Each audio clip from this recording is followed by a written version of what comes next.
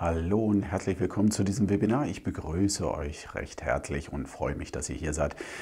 Wir werden uns heute mit einigen Themen rund um den Begriff DevOps beschäftigen und Dementsprechend werden wir hier die ein oder andere Sache erklären. Wir werden uns also anschauen, was der Sinn von DevOps, wie kam es dazu, was sind die Key Takeaways hier, wie kann man das ins Team integrieren, was sind so Fragen zum Zeit, Geld und Arbeit sparen und ähm, dann kommt natürlich noch das Thema Security dazu.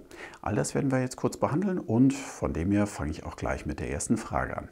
Die erste Frage lautet, was ist eigentlich der Sinn von DevOps? Jetzt möchte ich ein bisschen in die Geschichte gehen. Das heißt, ähm, wir werden uns mal ganz kurz anschauen, wo kommt das her und daraus ergeben sich dann auch die Argumente, was will man damit eigentlich bezwecken. So in der klassischen Softwareentwicklung äh, Ende der 90er, Anfang 2000 war es halt so, dass man sehr starke Dev-Teams hatte und Ops-Teams, die waren sehr stark getrennt. Die Responsibilitäten dieser ähm, Teams war halt ja, abhängig von verschiedensten Faktoren, also wie die Integration da stand. Ähm, das andere, was man hier betrachten muss, ist, dass natürlich der Aufgabenbereich dieser äh, unterschiedlichen Teams sich über die Zeit hin verändert hat. Während man zum Beispiel am Anfang eigentlich nur IT-Systeme hatte, die in den internen Netzwerken liefen, hatte man Operations, was auch wirklich sich nur auf die Bereitstellung der Netzwerkinfrastruktur, Hardwarekomponenten, lauffähige Systeme und so weiter bemühen musste. Dann kamen nach und nach die Firewalls dazu und dann kam natürlich irgendwann, sagen wir mal, das ganze Thema Internet dazu. Und das veränderte das Ops-Team dramatisch, weil jetzt hatte man nämlich wirklich mit aktiven Angriffen zu rechnen. Man musste eben externe Infrastruktur maintainen. Man musste dieses alles irgendwie in dieses Konzept mit hineinbringen. Auf der Entwicklerseite hatte man natürlich aufgrund der immer stärker voranschreitenden Entwicklung und dort auch die Verbesserung immer mehr die Möglichkeit, zum Beispiel selbst auf einem Laptop die Produktionssysteme zu spiegeln und dementsprechend ganz anders zu entwickeln. Während man am Anfang noch, sagen wir mal, auf ähm, beispielhaften Geräten entwickelt hat und das dann auf der Produktion erprobt hat, so ist es heute durchaus möglich, dass ich die gesamte Infrastruktur halt in klein auf einem Laptop virtualisiert habe und dementsprechend gegen das echte API programmiere, gegen die echten Produkte programmiere. Und das brachte natürlich einiges mit sich. Erstens, der Entwickler musste sich jetzt damit auseinandersetzen, wie ich eigentlich diese Produktionssysteme konfiguriere. Wenn er vorher mit solchen Mocks, also mit solchen Beispielen gearbeitet hatte und sich gar nicht mit dieser Konfiguration oder mit dieser Laufzeitumgebung an sich auseinandersetzen musste, war er jetzt damit konfrontiert. Hatte auf der anderen Seite natürlich den Vorteil, dass dementsprechend mit diesem Ich arbeite schon an dem realen System oder gegen das reale Produkt, auf dem es dann später läuft oder sich verbindet, dass ich dann natürlich wesentlich weniger Fehler hatte oder sagen wir mal so, so Kompatibilitätsprobleme hatte. Auf der anderen Seite musste jetzt das Wissen von Ops immer mehr Richtung Dev wandern, also von den Operations innerhalb der Entwicklung und von der Entwicklung natürlich auch immer mehr Anforderungen dann Richtung Ops gespiegelt werden.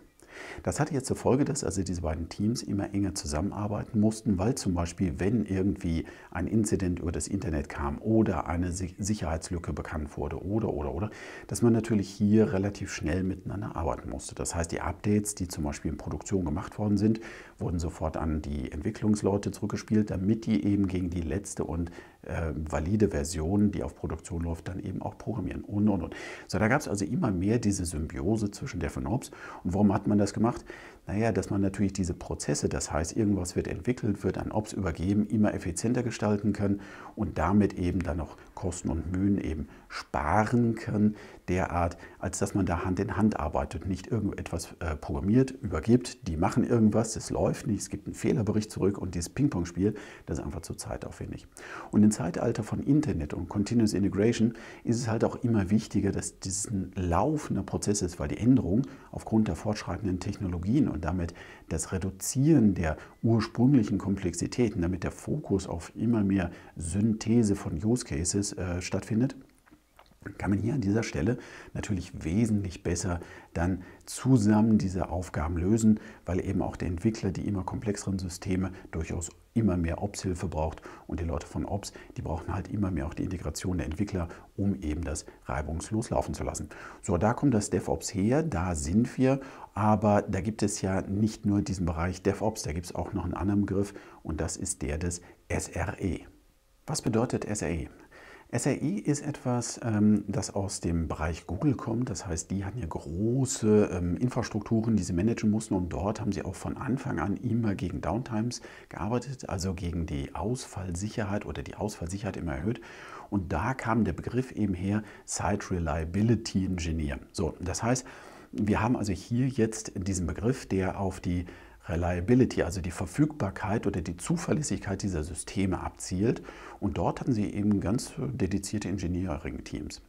Die Definition von Google war derart, dass eben so ein Site Reliable Engineer, also dass so ein SRE eben 50 Prozent seiner Zeit maximal für Ops benutzen darf und den Rest der Zeit für Dev. Das heißt, es ist also ein Entwickler, der maximal die Hälfte seiner Zeit sich mit der Automatisierung der Prozesse und dieses ganzen, dieser ganzen Produktionslinie beschäftigt, aber wie gesagt nur maximal 50 Prozent und die andere Zeit, also 50 Prozent oder mehr, eben für die Entwicklung von neuen Funktionen, Features oder eben zur Stabilisierung dieser Systeme, also das Programmieren von Utilities, Verbindungsstücken und und und beschäftigen kann. So, dieser SRE hat jetzt natürlich auch diesen Ansatz, eben die Stabilität innerhalb dieser Systeme zu fördern. Und hier arbeitet man zum Beispiel mit einem Failure Budget oder Downtime Budget.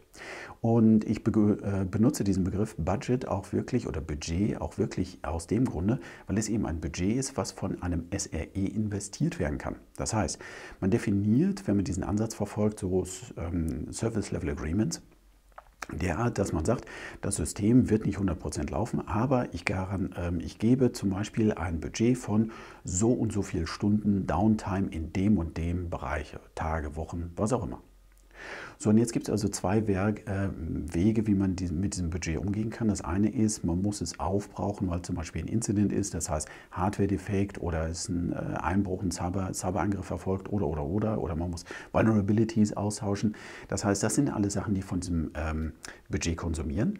Und dann hat man natürlich noch den anderen Teil, man kann es investieren, das heißt, man hat eben eine Verbesserung des Systems, die man jetzt einspielen möchte in Produktion und hat da die Möglichkeit sogar dieses System runterzufahren, diese Zeit zu investieren, um danach ein zuverlässigeres oder besseres System zu haben, was auch immer besser an dieser Stelle ist. So, und das sorgt dafür, dass ich eben, wenn ich dieses Budget habe, dass ich eine Balance zwischen neuen Funktionen und der Zuverlässigkeit des Systems habe, weil ich eben nur ein maximales Budget habe, was ich investieren darf.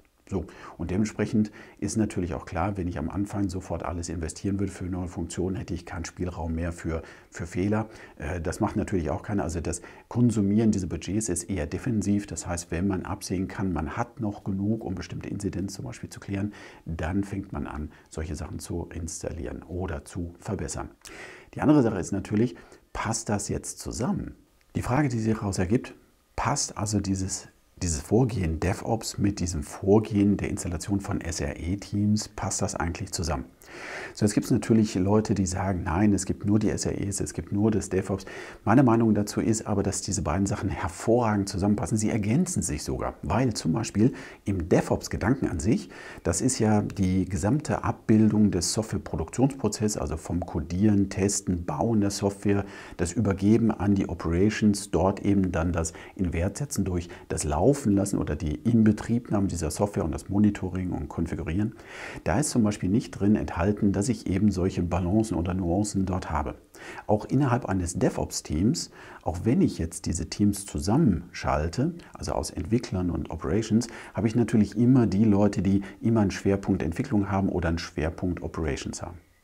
Es gibt aber ein paar, die sind sehr, sehr nah an dieser Mitte. Das heißt, es sind entweder sehr, sehr seniorige Softwareentwickler, die jetzt sich verstärkt um Operations kümmern, oder sehr seniorige Ops-Leute, also Administratoren, die sich jetzt verstärkt um die Entwicklung kümmern.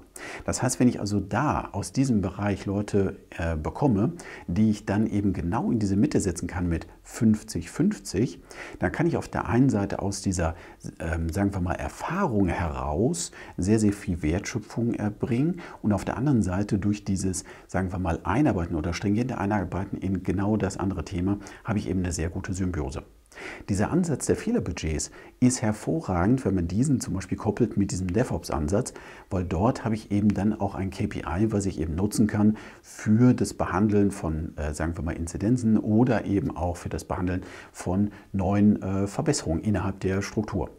Ob man das jetzt natürlich mit den Downtimes koppelt, die für neue Use Cases da sind, das mag jeder für sich selber entscheiden. Aber letztendlich die Art und Weise, damit umzugehen, also die Fehlerbehaftung solcher Systeme zu akzeptieren und sie einzubudgetieren und dann eben auch das möglich machen, dass dieses Team selber entscheiden kann, wann wie viel investiert wird, das gibt einem eine sehr, sehr hohe Autonomität und äh, also und, und, vor allen Dingen auch die Möglichkeit, dass, die, dass sie von alleine und eigenverantwortlich an diesen Themen arbeiten. Und das hat sehr oft zu sehr positiven Ergebnissen geführt.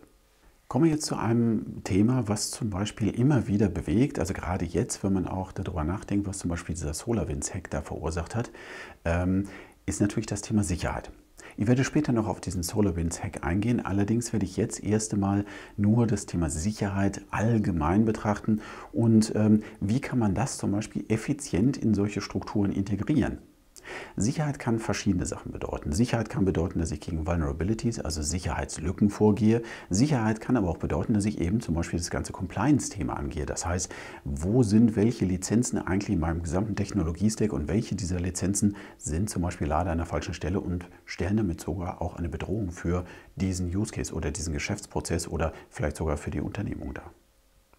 Das Thema Sicherheit ist also vielgestaltig und kann einmal äh, von diesem Bereich kommen des Operations. Das heißt also, ich habe Cyberangriffe von außen. Es kann aber auch sein, dass ich eben diese Known Vulnerabilities, das heißt also diese bekannten Sicherheitslücken in meiner Software selber drin habe. So, also das Thema Sicherheit ist also nicht nur in Ops verortet, es ist nicht nur in Dev verortet, sondern das Thema Sicherheit ist ein Querschnittsthema. Man kann sich das vorstellen wie Qualität. Qualität ist genauso wie Sicherheit. Das heißt, wenn ich von Anfang an mich um Qualität in jeder einzelnen Wertkettenstufe wenn ich das wirklich immer berücksichtige und überall, sagen wir mal, ein wenig an diesem Thema Qualität arbeite, dann werde ich insgesamt eine relativ gute Qualität erreichen können. Genauso ist es mit Sicherheit. Also es gibt nicht den Sicherheitsblock, dass ich sage, ich mache erstmal, was ich will und dann komme ich zu dem Punkt, jetzt machen wir mal Sicherheitstest und bauen mal um, was da nicht mehr sicher ist. Das ist ein sehr, sehr kontraproduktiver ein, ähm, Ansatz, weil der nämlich auch zu sehr hohen Kosten, Wartungsaufwänden, Change Management und so weiter führt. Dementsprechend kann man hier nur sagen, das Thema Sicherheit sollte also innerhalb dieses DevOps-Prinzips mit oder ohne diesem SRE-Gedanken eben vollständig in jeder Stufe implementiert sein. Und das fängt eben an bei der Entwicklung, geht über die Bereitstellung, geht hin bis ins Operations. Also das Thema Sicherheit ist ein Querschnittsthema und ist nicht eine dedizierte Stufe. Es ist nicht nur ein Produkt, was ich kaufe, sondern es ist eine Teamaufgabe. Jetzt gibt es in der Literatur verschiedene Begriffe. Man findet einmal den des DevOps und dann findet man zum Beispiel auch verschiedene andere Ops. Einer davon ist DevSecOps. Ich werde auch des Weiteren immer den Begriff DevSecOps äh, verwenden. Damit meine ich, dass also innerhalb dieser DevOps-Umgebung, also das Koordinieren von Develop und Operations, immer dieses Thema Security signifikant verortet hat. Das heißt, also wirklich in jeder Stufe sind die entsprechenden Elemente vorhanden, die mir das Thema Sicherheit dann eben auch repräsentieren. So, und damit meine ich beim Thema Sicherheit immer, das Vorgehen gegen Inzidenzen im Bereich Sicherheit, also wirklich Vulnerabilities, also Sicherheitslücken und natürlich auch das Thema Compliance, das heißt, welche Lizenzen dürfen wo, wann, wie eingesetzt werden. Also im Folgenden werde ich darüber sprechen, dass man DevSecOps nimmt und dieser Ansatz SRE, dieser Site äh, Reliability Engineer, der ist integriert in das DevSecOps, weil wir haben hier an der Stelle schlicht und ergreifend mit DevOps die Definition eines Prozesses, und mit dem SRE die Beschreibung einer Rolle. Und diese Rolle passt in diesen Prozess DevOps bzw. jetzt DevSecOps vollständig rein. Ich werde jetzt noch mal kurz zusammenfassen, was die vier wichtigsten Gründe für die Einführung von DevOps ist oder die eben belegen oder darstellen, dass DevOps effizient für das Unternehmen eingesetzt werden kann. Und das eine ist zum Beispiel, der Kunde steht im Mittelpunkt. Warum das? DevOps geht dahin, dass ich eben diesen Zyklus von Entwicklung und gleich auf Produktion bringe, so weit automatisiere und so weit beschleunige, dass ich eben in sehr, sehr kleinen Schritten immer wieder Änderungen in Produktion heben kann. Dadurch, dass ich diesen inkrementellen Vorgang habe, also dieses agile Vorgehen innerhalb des Projektmanagements dann auch manifestiere, kann ich natürlich Anforderungen des Kunden nicht nur relativ schnell in feinen kleinen Schritten umsetzen, sondern ich kann den Kunden auch mitnehmen. Das heißt, der Kunde bekommt also inkrementell am laufenden Meter neue Version ausgeliefert und hat so die Möglichkeit, diese Abnahmen nicht wie früher bei den wasserfallartig organisierten Projekten, also sprich nach einem Milestone dann die große Abnahme zu machen. So erfolgt zum Beispiel hier beim DevOps, wenn man das also mit Scrum, das ist jetzt, sagen wir mal, eine Abart ist oder eine Unterart oder eine andere Organisationsform des DevOps, wenn man da zum Beispiel sich auf diese Sprints, also diese zweiwöchentlichen Produktionszeiträume da beschäftigt ähm, oder festlegt, dann habe ich eben die Möglichkeit, alle zwei Wochen den Kunden etwas zu zeigen. Der kann dann die nächsten zwei Wochen eben das in Review geben, mir Feedback geben und in die nächste Produktionszyklen kann das dann gleich wieder mit eingetaktet werden. Abgesehen davon, ich hatte gerade Scrum genannt, aber man kann eben auch ganz normal ähm, sagen wir mal Kanban oder so verwenden. Das ist also keinerlei Problem. Also Scrum ist nicht gleich DevOps. DevOps ist sozusagen die Organisation des Ganzen und dann hat man natürlich Ausprägung, wie man die Projektabschätzung macht, wie man äh, die, die Projektdurchführung dann macht und die Koordination innerhalb der Teams. Also das darf man nicht vertauschen. Also Scrum und DevOps ist nicht dasselbe. Es wird nur meistens sehr oft zusammen genannt. Man kann auch andere Projektmanagement-Stile einsetzen, um DevOps dann zu auch zu leben. Der zweite Grund für DevOps oder für die Einführung von DevOps spricht, dass DevOps sich automatisch, also inhärent damit beschäftigt, alles zu automatisieren. Und zwar wirklich alles, den gesamten Produktionsprozess. Von ähm, der, ich habe gerade meine Software geschrieben, die muss übersetzt werden, in, sie muss paketiert werden auf, äh, die Software wird irgendwo installiert, sie wird also in Wert gesetzt, dadurch, dass sie aktualisiert und dann eben auch ausgeführt wird. Das heißt, diese vollständige Automatisierung ist Teil von DevOps, ist also Teil dieses Vorgehens, weil man da natürlich möglichst viele Dinge, die sonst, sagen wir mal, routinemäßig durch einen Menschen gemacht werden, ähm, das möchte man loswerden. Dafür gibt es diese CI-Strecken. CI-Strecken sind also Continuous Integration Strecken. Das sind also verschiedene Werkzeuge, die eben diesen Ablauf immer mehr automatisieren. Und daraus ergibt sich natürlich auch gleich der zweite Gedanke, ähm, innerhalb dieser Automatisierung, also nicht nur das Loswerden von äh, diesen repetitiven Tätigkeiten oder von diesen langweiligen, monotonen, immer wiederkehrenden Tätigkeiten, die können Maschinen wesentlich besser, sondern eben auch die Beschleunigung. Das heißt also, es wird von einer Maschine meistens auch wesentlich schneller eben alles nacheinander miteinander abgearbeitet und man hat ein vollständiges Reporting. Das wäre der dritte Punkt zum Beispiel, dass man eben über diese gesamte Wertschöpfungskette, alles was automatisiert ist, natürlich auch dann den lückenlosen Nachweis hat, wann was wie passiert ist. Ebenfalls interessant ist natürlich bei solchen CI-Strecken, dass man an der Stelle also nicht nur automatisiert und Zeit spart, sondern dass man damit eben auch Potenziale freilegt, eben bei den Menschen, die jetzt eben diese Tätigkeit nicht durchführen müssen, weil sie sich eben auf das Wesentliche konzentrieren können. Das heißt, die Automatisierung an sich ist da schon mal, wie wir es auch in anderen Industriezweigen gesehen haben, eben einer der Wege, wie wir jetzt nach vorne gehen. Und ähm, was man hier sehen kann, ist, je mehr ich automatisiere, desto mehr muss ich homogenisieren, um das volle Potenzial zu heben. Und damit bedeutet es auch, ich gehe eben einen Plattformgedanken. Das heißt, ich gehe eben von einer sehr, sehr unterschiedlich aufgebauten, unterschiedlich strukturierten Softwareentwicklungslandschaft, die ich in den unterschiedlichen Abteilungen vielleicht habe, doch eher dazu hin, dass ich eine homogene Produktionsplattform habe. Das heißt also eine DevOps Plattform. Ich habe nicht einzelne Werkzeuge, die ich irgendwie versuche zu integrieren, sondern das höchste Potenzial oder das höchste, dieser, dieser höchste Wertgewinn ergibt sich daraus, wenn ich eben das alles hoch integriert, also in einer Plattform bereitstelle, also die gesamte Werkzeugpalette. Ein weiterer Vorteil, der sich durch diese DevOps-Struktur ergibt, ist, dass ich eben Teams äh, zusammenschneide oder Teams schneide, die alle Kompetenzen, die sie eben für diesen gesamten Durchlauf benötigen, innerhalb des Teams haben. Das heißt, hier schneide ich diese Teams eben nicht nach Verantwortung wie Entwicklung, Operations und Konfiguration oder was auch immer einem da einfällt, sondern ich habe innerhalb des Teams eben die Entwicklung des Operation, des Thema Security, alles zusammen und ich schneide hier eher nach, nach Wertschöpfungsketten teilen, das heißt also von, von Use Cases. Also es gibt welche, die das Rechnungs, ähm, den Rechnungsteil machen. Es gibt welche, die äh, die Logistik machen. Es gibt welche, die, ne? also diese Teams sind jetzt mehr strukturiert nach den Use Cases. Und das ermöglicht es auch, dass diese Teams relativ autonom arbeiten. Und diese Autonomität, also dieses Selbstständigsein, gibt einem eine wesentlich höhere Flexibilität und auch eine wesentlich bessere Auslastung, weil eben die Teams sich selber aussteuern können und dementsprechend eigentlich nur noch an bestimmten Stellen diese Synchronisation ist.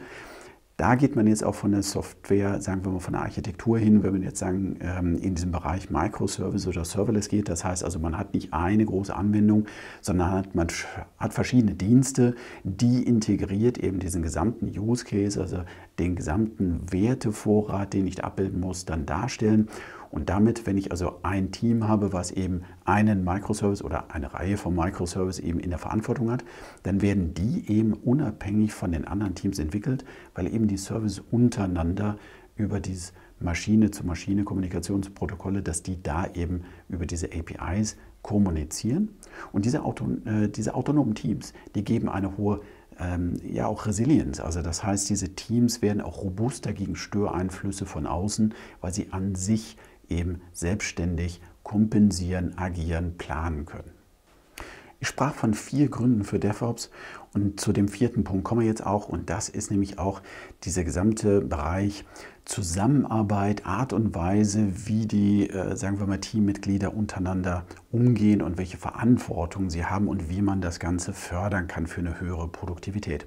Das heißt, diese Teams an sich, dadurch, dass eben diese Verantwortung auch Teamverantwortung sind und nicht nur Verantwortung einer einzelnen Person, ist natürlich auch das Übernehmen von Verantwortung eine Teamsache. Das heißt, das Team steht immer da, um ein Ergebnis zu erzielen und das Team ist auch das, was belohnt wird, wenn eben bestimmte Ziele erreicht werden. Diese Art und Weise der Teamführung führt eben zu einem besseren Gruppenverständnis und damit ist eben auch das Definieren von KPIs auf Teamebene eine wesentlich effizientere Aussteuerungsstruktur, als wenn man jetzt einzelne dedizierte Personen hat, die mit ihren KPIs vielleicht untereinander sogar gegeneinander arbeiten, weil die KPIs eben nicht alle gleichförmig, sagen wir, in dieselbe Richtung ziehen. Mit diesen Teamverantwortungen habe ich da eine ganz andere Möglichkeit, das auszusteuern und dementsprechend ist der vierte und letzte hier genannte Punkt für DevOps eben dass die Teams eben dadurch, dass sie in sich geschlossen sind, auch als Team bewertet werden, ganz anders miteinander umgehen und dementsprechend auch zusammen eben am Erfolg arbeiten. Warum kann ich eigentlich mit einem Artefaktmanagement Zeit und Arbeit sparen? Kommen wir mal dazu hin und nehmen einfach mal den Begriff Time to Market. So, was bedeutet das? Das bedeutet ja normalerweise, ich habe irgendwie einen Use Case, ich habe eine Anforderung, die soll so schnell wie möglich umgesetzt werden und die soll dann eben irgendwo in Wert gesetzt werden. Das heißt, sie muss möglichst schnell in Produktion kommen. Time to Market gilt aber nicht nur, sagen wir mal, für den Use Case an sich, sondern der Entwickler, der hat auch damit zu tun, er nennt es anders, aber Time to Market ist für ihn irgendeine Anforderung, die von außen kommt, die er dann umsetzen muss und die so schnell wie möglich in Produktion gehen muss. Wenn wir uns daran erinnern, dass eben DevOps zum Ziel hat, dass man zum Beispiel alles automatisiert, braucht man eben auch zentrale Stellen, über denen eben diese Automatisierung stattfindet. Das eine sind diese CI-Server oder das sind die Continuous Integration Strecken, das sind also die Arbeitspferde, die etwas machen. Aber auch dort, die einzelnen Arbeitsschritte müssen ja ihre Ergebnisse austauschen. Und da bin ich immer bei dem Punkt, dass ich eben so ein Binary Storage habe, also hier das Artifactory, was mir eben ermöglicht, diesen Austausch untereinander effizient vorzunehmen. Das heißt, das Handling dieser Binaries, weil das ist ja eigentlich das, was produziert, verarbeitet, integriert wird und dann später auch in Produktion geht.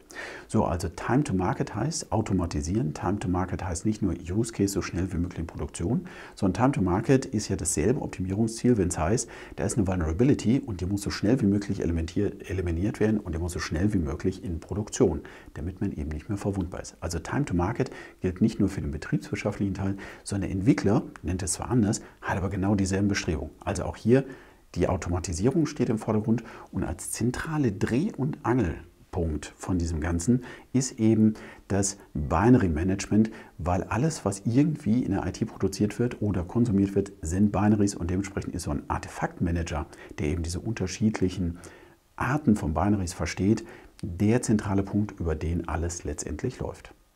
Die zweite Begrifflichkeit, die ich jetzt verwenden möchte, ist Make or Buy. Wir kennen das innerhalb von Unternehmen. Wir haben zum Beispiel bestimmte Fähigkeiten, die wir jetzt temporär brauchen. Das gehört aber nicht zum Kerngeschäft. Also fragt man sich dann, kann ich das irgendwie von extern holen? Zum Beispiel, ich habe irgendwo einen Change, ähm, Change Management Prozess und ich brauche einen Change Manager, den brauche ich aber nur eine gewisse Zeit. Also kann ich mir den zum Beispiel extern reinholen. Das heißt, also ich hole Consultants rein.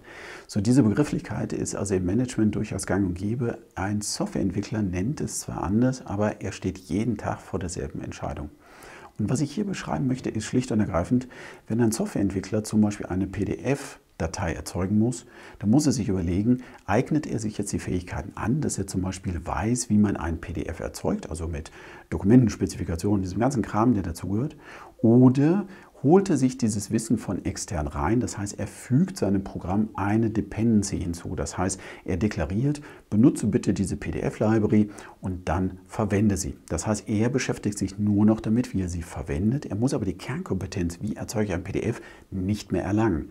Das hat aber zum, ähm, zum Nachteil, dass ich damit, sagen wir mal, etwas Externes reinziehe und dementsprechend sofort die Vertrauensfrage steht, sofort auch die Professionalitätsfrage äh, sich stellt.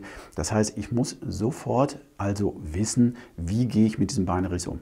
Wichtig ist auf jeden Fall, don't reinvent the wheel. Das heißt, alles, was schon da ist, ist meistens effizienter innerhalb der Softwareentwicklung zu holen als Dependency, als sich diese jahrelange Arbeit, die da teilweise in diesem kleinen Library schon drin steckt, eben selber nochmal nachzuholen. Das gehört aber nicht zu den Kernkompetenzen und es ist auch nicht förderlich für die Umsetzung der Use Cases. Aber man sollte sich fokussieren auf die Umsetzung der wirklichen Notwendigkeit und eben nicht mit solchen Infrastrukturthemen, mit solchen Sachen wie ähm, ja, so, so allgemeinen Querschnittsachen wie PDF-Drucken oder so. Da, dafür gibt es Libraries.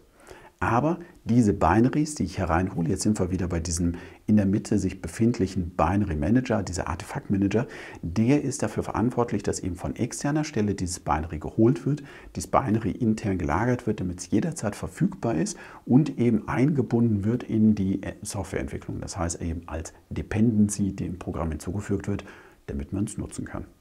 Kommen wir zu dem Punkt der Umsetzen von Compliance-Richtlinien. Was meine ich damit? Ähm, wenn ich jetzt als Entwickler zum Beispiel mir all diese Dependencies hole, dann habe ich natürlich etwas, ähm, was unter einer Lizenz läuft. Äh, dementsprechend muss ich sicherstellen, dass diese Lizenz eben zu diesem Teil der Wertschöpfungskette eben auch passt.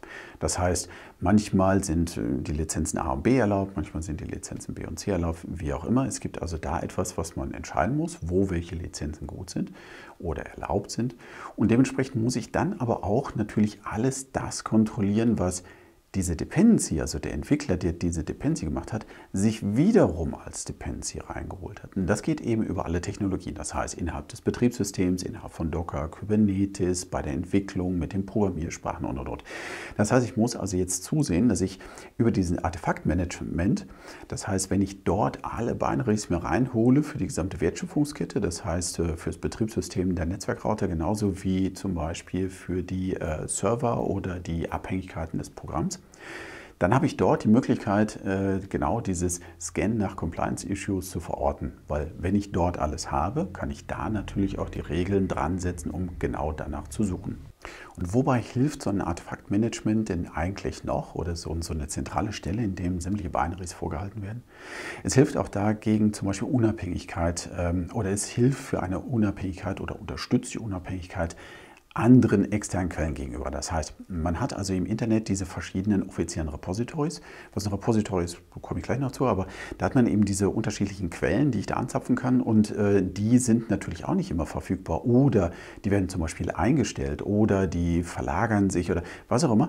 Und ähm, wenn ich jetzt natürlich von denen abhängig bin, weil ich diese Dependency, also wenn ich dieses Kaufen dieser Dependency oder das Heranziehen dieser Dependency gemacht habe, dann möchte ich natürlich erstmal unabhängig sein. Das Ganze natürlich, wenn ich das in der Cloud mache oder aber, wenn ich das jetzt in mein System hereinziehe, also on-prem habe, in meinem Netzwerk, dann habe ich damit natürlich eine Ausfallsicherheit innerhalb meiner Produktion, weil selbst wenn die Internetleitung vorne weg ist, ich habe alles noch in meinem Binary Manager, also in meinem Artifactory drin und kann dementsprechend einfach weiter produzieren. Kommen wir nun zu einer kleinen Übersicht, wo eigentlich solche Artefaktmanager, sprich von uns, das Artifactory, denn eingesetzt wird und warum das eigentlich der zentrale Standpunkt oder dieser zentrale Punkt innerhalb des Software Delivery Lifecycles ist, also SDLC.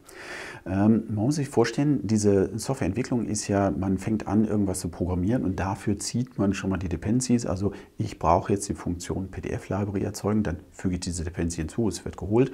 Damit habe ich jetzt das Gateway, das heißt von einer externen äh, Quelle wird das geholt, wird ins eigene Artefaktmanagement sozusagen eingespielt von da aus können es dann die internen konsumieren. Das hat einmal diese, diese Gateway-Funktion natürlich, dass ich nur das reinlasse, was ich reinlassen möchte. Wir kommen später mit dem Thema Sicherheit auch noch dran, dass ich eben dort eben auch noch einige andere Sachen da verorten kann. Aber prinzipiell ist dann da diese Dependency vorhanden, wenn der Erste sie geholt hat. Wenn jemand anders dann auch nochmal das haben will, dann holt das natürlich nur noch von der internen Quelle. Das spart Zeit, das spart Geld und es macht unabhängig.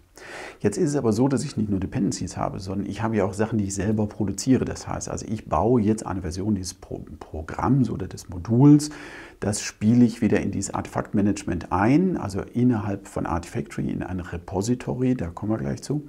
Und diese Repositories, die werden dann natürlich von den anderen auch benutzt. Das heißt, wenn die Abteilung A was macht, die Abteilung B oder das DevOps-Team A und das DevOps-Team B, die müssen ja auch irgendwie ihre Teilergebnisse austauschen, sodass man dann nach und nach eben das Gesamtgebilde daraus machen kann. Genauso sieht es auch mit den Provisionierungen von, sagen wir mal, irgendwelchen Serverinstanzen aus und ähnliches. Auch die ziehen Dependencies, auch dort habe ich das. So, und dieser ganze Prozess, der ist ja zyklisch, das läuft immer wieder ab und dementsprechend hole ich immer wieder diese Dependencies über den gesamten Technologiestack und ich tausche immer wieder Ergebnisse aus. Das heißt also die Informationen, sagen wir, es wurde etwas gebaut mit den und den Parametern zu der und der Uhrzeit. Also auch diese Protokollinformationen dieser Produktionslinie, die laufen auch wieder zurück in das Artifactory. Also wir haben nicht nur diese Binary Management da, sondern wir haben auch dieses Metadatenmanagement da drin. Und das macht es natürlich zu einem sehr, sehr wertvollen Element innerhalb dieser Softwareentwicklung und ist damit dann auch die Dreh- und Angelscheibe für ja, den gesamten Software Delivery Lifecycle, weil ja auch die Produktion, die ja dann irgendwann Binary braucht, um es auszuführen, es aus diesem Artefaktmanagement herausholt. Als nächstes möchte ich eine sehr zentrale Begrifflichkeit erklären. Das ist eben dieser Begriff des Repositories. Das wird immer wieder aufkommen, sobald man mit der Softwareentwicklung sich beschäftigt. Und das Repository an sich ist eine Sonderform eines Binär-Storage. Das heißt also irgendwas, wo eben Binärdateien drin liegen, weil eben bei einem Repository auch diese Metadaten dabei sind. Das heißt, je nachdem, welches Betriebssystem oder welche Programmiersprache man verwendet, haben diese Dependencies, also diese Abhängigkeiten, auch dazugehörige Metadaten. Das heißt, so eine Binary oder so, so ein Binärfile hat eben nicht nur eine Identität, also Namen, sondern meistens eben auch eine Gruppennummer oder es hat sowas wie eine Adresse, damit es eindeutig identifiziert werden kann und eine Version. Und dann, basierend auf diesen Metadaten, gibt es dann auch entsprechende Strukturen, wie diese Binaries gemanagt werden. Das alles passiert in Repositories. Und da gibt es genau drei Arten von Repositories. Und zwar sind das die lokalen Repositories. Das sind also die, die in Artifactory drin sind. Das heißt, wenn ich etwas dort einspiele, dann ist das auf meinen Servern, in meiner Serverinstanz. Das sind die lokalen. Die entfernten Repositories, also Remote Repositories, sind all die Repositories, die draußen irgendwo vorhanden sind und von denen ich initial mir zum Beispiel diese Dependencies herhole. Das sind die Remote Repositories. Und dann kann man sich vorstellen, dass natürlich jede Institution oder so ihre eigenen Namensschemata hat, ihre eigenen Strukturen hat oder man zum Beispiel verschiedene anbinden möchte von diesen entfernten Repositories, um so eine Art Failover zu haben, weil man Replikanten anspricht. Dann kann man das alles intern strukturieren mit virtuellen Repositories. Virtuelle Repositories sind sozusagen Kompositionen existierender lokaler oder entfernter Repositories und die geben dann die Entkopplung von der internen Struktur zur externen Struktur. Und dafür sollte man sie auch zum Beispiel benutzen, dass man eben sagt, was auch immer draußen für Namensräume, Vorgaben und so weiter sind, man möchte die internen Strukturen damit aber sozusagen nicht belasten, sondern man hat eben diese virtuellen äh, Repositories und da kann ich verschiedene Sachen zusammenschalten oder ich kann bestimmte Namensschemata um, äh, umsetzen und und und. Und dann kommen wir noch zu dem ganz essentiellen Teil, sag mal, wie verteile ich denn dann eigentlich Binaries? Als nächstes möchte ich einen sehr essentiellen Teil ansprechen und das geht eben darum, dass man nicht nur Binaries holt und lagert, sondern man möchte auch irgendwann in der Lage sein, seine Binaries selber zu verteilen. Da gibt es verschiedene Szenarien. Es gibt einmal das Szenario, dass zum Beispiel zwei Teams untereinander diese Ergebnisse oder diese erzeugten Binaries austauschen wollen und dementsprechend hat man dann sein Artefaktmanagement. Beide haben Zugriff drauf. Es gibt eben so Rollen- und Rechtekonzepte. Man kann es eben auch an die schon vorhandenen Rollen- und Rechtekonzepte, die in der internen IT-Infrastruktur vorhanden sind, eben anbinden und dementsprechend kann man da das dann einfach austauschen. Jetzt gibt es aber noch verschiedene andere Sachen, die, ähm, sagen wir mal, zur Verteilung von Binaries gehören und die eben auch Herausforderungen darstellen. Das eine kann sein, wenn zum Beispiel verschiedene Standorte an verschiedenen, ähm, sagen wir mal, Stellen dieser Erde sind, das heißt, welche in Amerika, welche in Deutschland oder welche innerhalb Deutschlands, zum Beispiel München, Stuttgart, ähm, Hamburg, Frankfurt, was auch immer, dann kann es ja sein, dass auch da diese äh, Teams dann miteinander kommunizieren wollen, äh, beziehungsweise nicht nur kommunizieren, sondern diese Binaries austauschen. Da spricht man dann von der Distribution, also JFrog Distribution. Das ist also das effiziente Verwalten von Replikanten für verschiedene Standorte. Dann gibt es noch eine Anforderung, die ist zum Beispiel dann da, wenn ich sowas wie ähm, viele kleine Einheiten, die also ein Update brauchen, möglichst schnell und gleichzeitig updaten möchte. Da spricht man eben von solchen Burst-Downloads. Das heißt also, man hat ein Update und dann müssen auf einmal in einer Lagerhalle zum Beispiel, was sich 50, 60, 100, 2000 Server oder so gleichzeitig aktualisiert werden, damit also möglichst zum Beispiel ein Security-Patch möglichst schnell überall ausgerollt wird und das nicht über die nächsten zwei Wochen geht. Wenn ich also solche sehr starken Download-Verhalten habe, also ich, ich habe etwas Neues und das möchte ich ganz schnell intern verteilen, dann habe ich also lesende Konsumenten und da kann ich mit Peer-to-Peer-Strukturen arbeiten. Die funktionieren in lokalen Netzwerken oder in Lo äh, Local Regions, zum Beispiel innerhalb von solchen Cloud-Strukturen. Und dort kann ich sehr, sehr viele Einheiten gleichzeitig mit Updates versehen, weil eben durch diesen Peer-to-Peer-Mechanismus eine sehr effiziente Auslastung dieser lokalen Netzwerkstrukturen vorherrscht. Und dann gibt es natürlich noch das, man möchte global etwas verteilen. Das heißt, man hat sowas wie ein Software Development Kit, man hat einen Treiber geschrieben, man hat sein eigenes Produkt, was man weltweit anbieten möchte. Dann spricht man über diese Content Delivery Networks, das sind diese CDNs und auch die werden von Artifactory unterstützt. Und auch in all diesen drei genannten, also in dem Distribution, in dem Peer-to-Peer, -Peer, JFrog Peer-to-Peer -Peer und in dem JFrog CDN, ist es so, dass das gesamte Rollen- und Rechte-Konzept, was man eben auch in dieser lokalen Instanz hat, selbst global global dann umsetzen kann, weil das sich schlicht und ergreifend alles zusammengehängt. So, also von dem her, auch das Verteilen von Binaries ist ein sehr wichtiger Punkt und den sollte man nicht vergessen, weil was bringt es mir, wenn ich zwar alles bekomme, aber es dann nicht richtig und zügig an die Stellen bekomme, wo es dann auch wirklich gebraucht wird. Jetzt haben wir darüber gesprochen, wie man also jede Menge Binaries in sein System reinholt. Wir haben auch darüber gesprochen, wie man effizient solche Sachen verteilen kann oder welche Anforderungen es da gibt. Dann kommt natürlich gleich die Frage, wie sieht es eigentlich mit dem Thema Sicherheit aus und was ist der richtige Platz, um Sicherheit dort zu verorten. Und hier kann ich sagen, wenn man einen zentralen Platz hat, an dem alle Binaries gehalten werden, also sprich eine Artifactory-Instanz, eine logische Instanz, die kann also aus mehreren Servern bestehen, damit sie skalierbar ist, aber prinzipiell ist eine logische Instanz. Wenn dort alle Binaries hereingeholt werden, das heißt also über Docker, Kubernetes, die Programmiersprachen, Betriebssysteme, alles, das Tooling, also wenn ich alle Binaries darüber äh, hole, dann bin ich auch in der Lage, dort genau mit X-Ray, das ist der Sicherheitsscanner oder das ist das Sicherheitsmodul von JFrog, sämtliche Binaries zu scannen. Und der große Vorteil an der Stelle ist, dass ich, wenn ich eben sämtliche Repository-Strukturen verstehe, also nicht nur die Binaries, sondern auch die dazugehörigen Metadaten, dann bin ich natürlich ganz anders in der Lage, das Thema Sicherheit zu verorten. Ich kann wesentlich effizienter, ich kann auch wesentlich feingranularer in diese ganze Struktur eingreifen. Und das Schöne ist, dass X-Ray mit Artifactory in Kombination das mehr oder weniger selbstständig macht. Das heißt, man muss dem nicht mehr beibringen, was das für Metainformationen sind. Man muss auch nicht dafür sorgen, dass es jetzt einmal das Debian, das Betriebssystem versteht und auf der anderen Seite die Programmiersprache Java, sondern Artifactory versteht all diese Repository-Strukturen und diese Repository-Manager für die verschiedenen Einsatzgebiete. Und mit X-Ray kann ich genau dann den Zugriff auf diese Binaries garantieren und dann eben Sachen machen wie ein Bild wird gebrochen oder ein Download darf nicht stattfinden oder noch schlimmer, wenn ich zum Beispiel an SolarWinds äh, Hack denke, äh, da sind jetzt kompromittierte Binaries in das System eingeblutet. Wie identifiziere ich die, wo sie überall verwendet werden und wie werde ich die dann wieder los? Es gibt einen Begriff, der dann auch sehr gerne verwendet wird, wenn man über Vulnerabilities, also über Sicherheitslücken spricht. Und das ist der Full Impact Graph. Also, das ist genau dieser Begriff, der sich darum äh, dreht, dass wenn ich zum Beispiel in irgendeiner Kernkomponente eine Sicherheitslücke habe und diese Kernkomponente wird jetzt in verschiedenen anderen Sachen benutzt, dass ich eben diese Zusammenhänge möglichst schnell erkenne. Weil es bringt mir nichts, wenn ich mich auf eine Technologie fokussiere, die scanne und dort, sagen wir mal, weiß, da ist was, sondern für mich ist ja wesentlich wichtiger, in dieser Komponente ist zum Beispiel eine Sicherheitslücke, die wird jetzt verpackt in diesem Betriebssystem dort auf diesem Server laufen. So, wenn ich das weiß, also die, die, den vollen Impact Graph, also den vollen Wirkungsgrad dieser Vulnerability erfahre, kann ich natürlich ganz anders dagegen vorgehen und ich kann äh, bestehende Sicherheitslücken natürlich auch ganzheitlich aus dem System entfernen und nicht nur partiell dort in dieser Kernkomponente, sondern ich kann auch alle Komponenten identifizieren, die eben davon betroffen sind, direkt oder indirekt.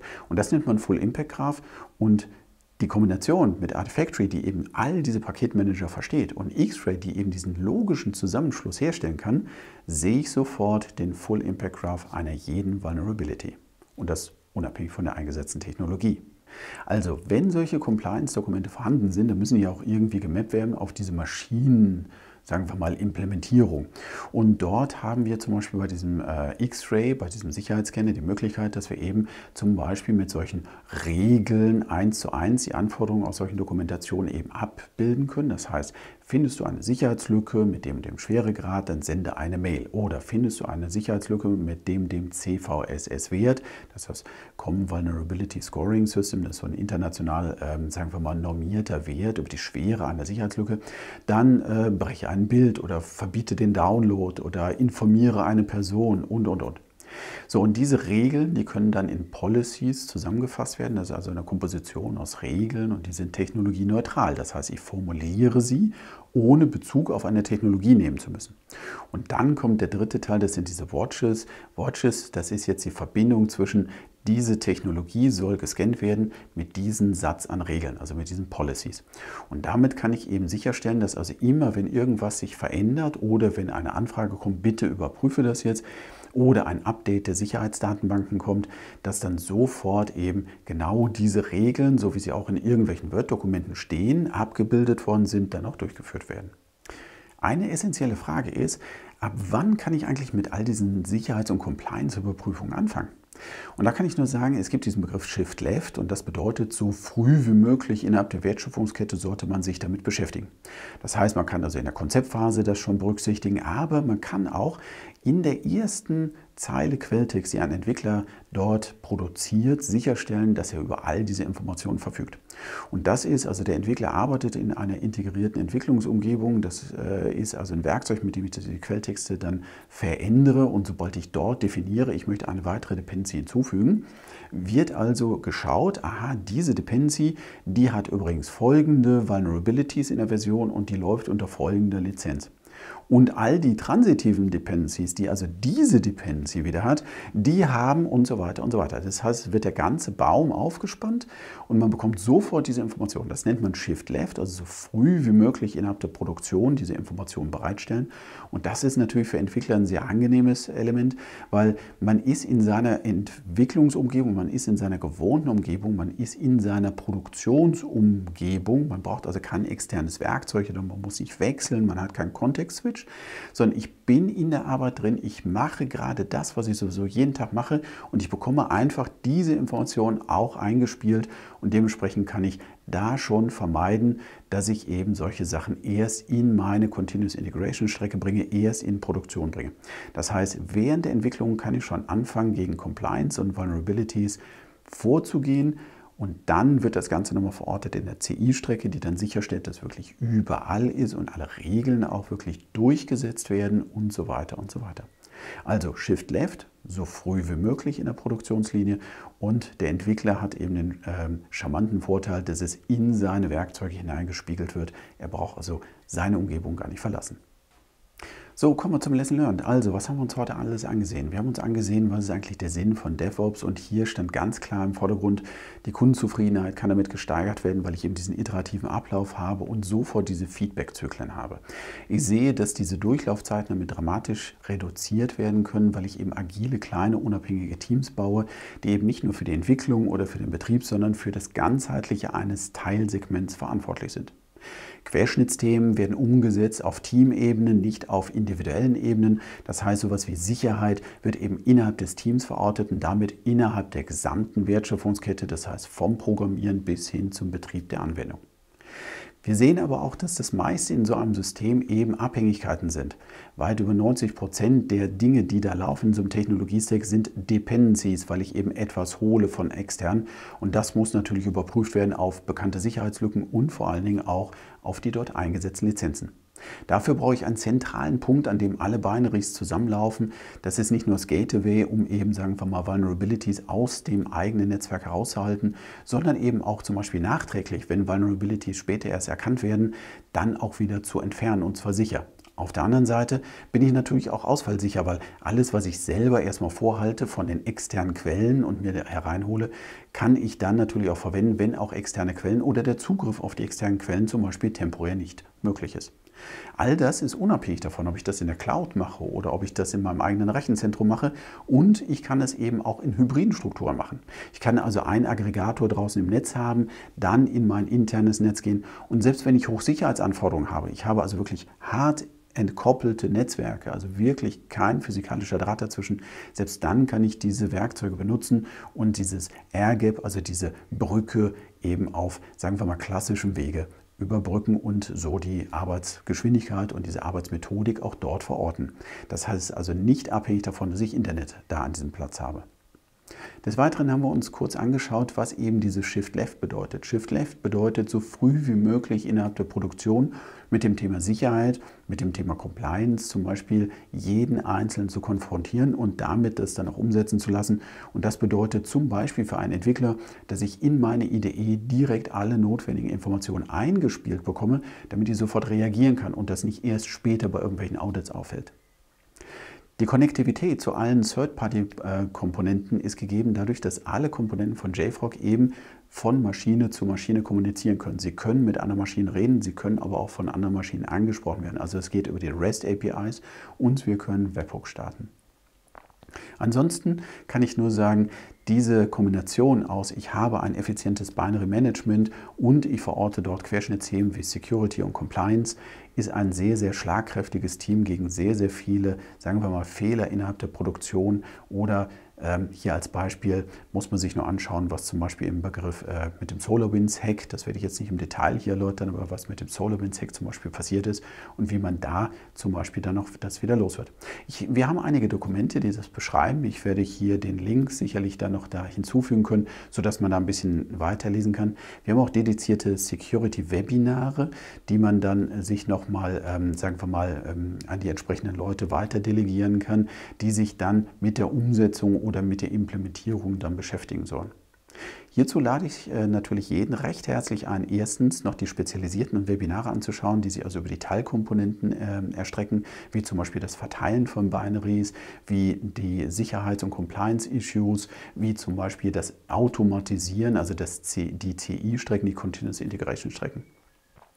Des Weiteren haben wir auch Workshops, das heißt ganz normales Hands-on. Das heißt, wenn Entwickler da sind, die sich das wirklich rein praktisch einfach mal anschauen wollen, dann lade ich ganz recht herzlich dazu ein. Wir haben regelmäßige Workshops. Einfach anmelden, die gibt es in Deutsch, die gibt es in Englisch, so wie alles von uns gibt es in Deutsch und in Englisch. Dementsprechend sollte es auch für internationale Teams keine Barriere darstellen, weil wir eben diese beiden Sprachen mindestens bedienen.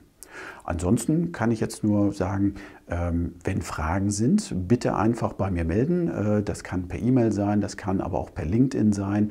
Ich habe noch weitere Quellen auf YouTube. Das gibt einmal den JFrog-Kanal. Es gibt allerdings auch meine privaten Kanäle, wo ich auch nochmal etwas anders gelagert diese Thematiken dann aufbereite. Aber im Großen und Ganzen haben wir entsprechendes Material, um sich da vorzubereiten. Wir haben die Möglichkeiten, es auszuprobieren und wir können auch mit weiteren Webinaren weiter detaillierte Einblicke in die jeweiligen Teilsegmente bieten. Damit bedanke ich mich ganz herzlich für das Zuschauen und freue mich schon auf Feedback und auf die nächste Kommunikation.